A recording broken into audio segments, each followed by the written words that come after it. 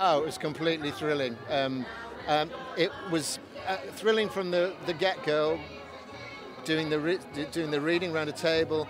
Um, it, everything was set up in the rehearsal rooms with um, with pictures of the uh, animated characters, sets, pictures of sets, um, models. So everything was laid out so we knew what world we were going to st- be stepping into for the next six months. It was, I was just amazed.